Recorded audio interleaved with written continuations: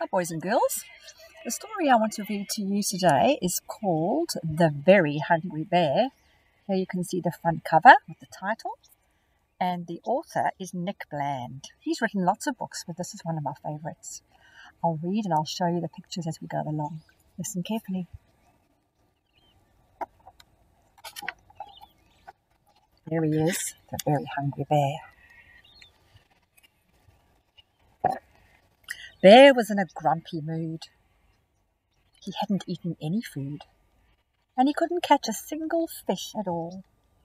He'd been hungry since the break of day, and every fish had got away. But now something huge was on his hook. He cranked the handle, round and round, he yanked the line, and wound and wound. He flicked it here and he waved it over there. A hungry bear is very strong, so it didn't take him very long to discover mm, that he'd caught a polar bear. Do you have to fish there?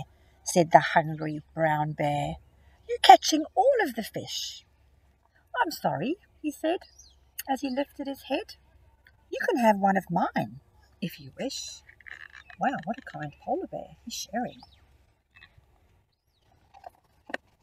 Then he added with a smile, You can have the whole pile, if you'll just find me somewhere to stay. My iceberg is shrinking, and soon I'll be sinking. And my home is such a long way away. He's giving all those fish to the hungry bear. Wow, that is generous. Now, a fish to a bear is like a chocolatey eclair. It's incredibly hard to resist. So the thought of a pile that would last for a while was an offer too good to be missed.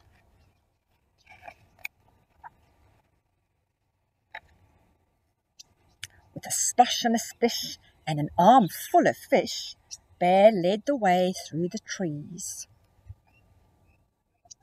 My cave's over there, and I'm happy to share. You can stay for as long as you please.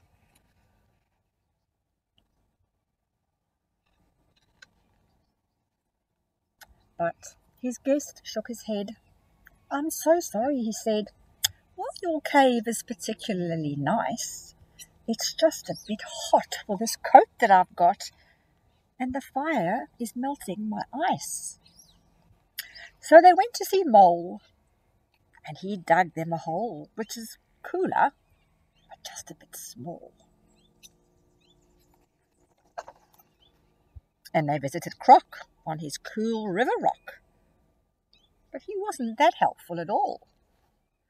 Oh, perhaps this is best, said the bear from a nest, but I think I'm going to sneeze. Then he squinted his eyes and he said with surprise, Ah,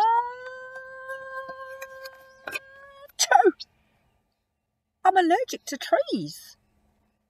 So the bear with white hair followed right behind Bear to the only place left they could go, away from the trees and the warm summer breeze. All the way up to the snow. They built him a home with an icy white dome. And Bear left a housewarming gift. With a smile and a wave, Bear went back to his cave. And he stopped on the way for a fish. Oh, that was a happy ending, and Looks to me like Bear's no longer grumpy.